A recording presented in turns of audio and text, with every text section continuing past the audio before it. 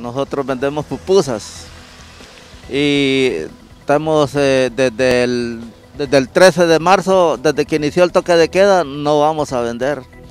A estas alturas ya llevamos una pérdida de cerca de 50 mil empiras y nuestra preocupación es pues de que esto como que no quiere mejorar y, cada día se pone más peor y la situación se está poniendo más tensa.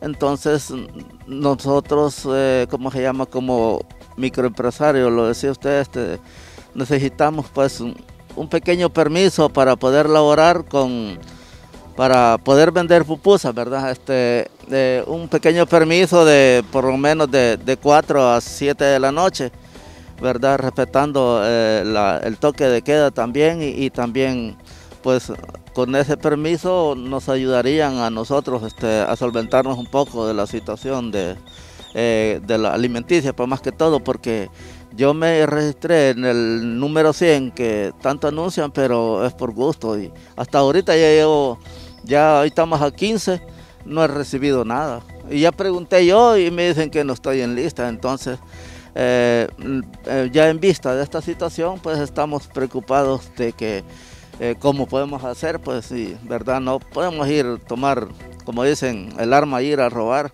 Entonces necesitamos hacer algo, necesitamos trabajar.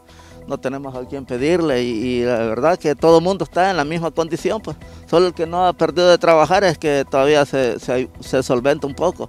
Pero nosotros que de eso vivimos, de lo que vendemos diario, invertimos y todo eso, entonces eh, se nos hace bien difícil la situación ahorita.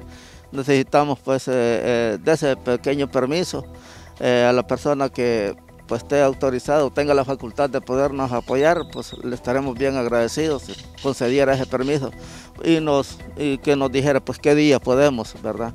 laborar respetando las disposiciones del gobierno, ¿verdad?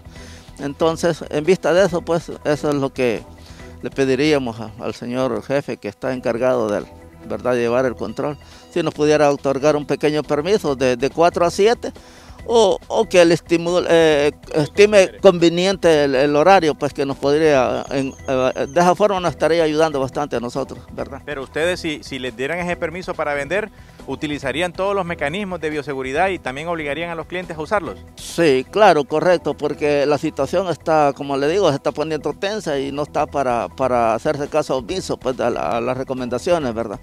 Porque las autoridades de salud recomiendan eso, pues entonces, nosotros haríamos todo eso, de que la persona que quiera ir a comprar pues tiene que llevar sus guantes y su, mascarilla. Igual nosotros, ¿verdad? Atendiéndoles también y respetando las decisiones de también tomar la distancia de persona a persona para también colaborar con esta situación, ¿verdad? ¿Cuántas personas dependen de usted? De nosotros hay cinco. ¿Cómo han estado haciendo todos estos días? Ah, tenemos, este, ¿cómo se llama? Desde un principio, cuando anunciaron toque de queda, compramos una provisión. Pero como le digo, ya ahorita ya llevamos un mes y dillitas, digamos, porque empezó el 13. Eh, ese mismo día, al día siguiente, fuimos a comprar la provisión, sí, y ahí hemos estado ahí un, haciendo, limitándonos pues para estimar, porque como dice uno, no sabe cuándo va a terminar esto y como le digo, hasta ahorita esto se ha extendido más y entonces ahí estamos ya pero ya, ya estamos, como le digo, colapsando ya. Ya no tenemos de dónde agarrar, pues, de dónde disponer. Entonces... ¿Qué pasaría si no le dan el permiso para vender, ustedes ya sin dinero, sin comida, cómo harían?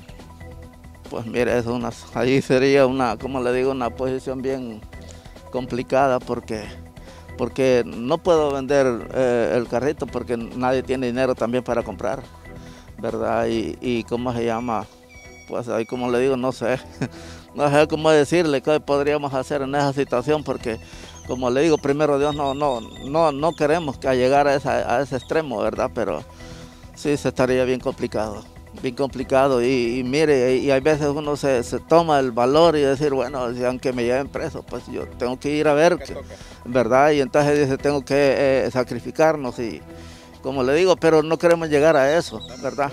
Queremos este queremos eh, llegar por, el, buen camino, por como le dice, hablando se entiende, ¿verdad? Entonces espero pues que por medio de este medio, de, su noticiero o del canal, eh, también llegue a oídos de, de, ¿cómo se llama?, de las autoridades pues, competentes, ¿verdad? Que tomen carta de los asuntos y nos apoyen en esa área, ¿verdad? Porque para empezar, pues nosotros somos salvadoreños y no tenemos familias acá, no tenemos a quién, a quién recurrir a que nos haga un préstamo y más bien nosotros aquí tenemos, tenemos ahí cuentas pendientes, pero como le digo, nadie está trabajando, nadie recibe, nadie cobra, pues.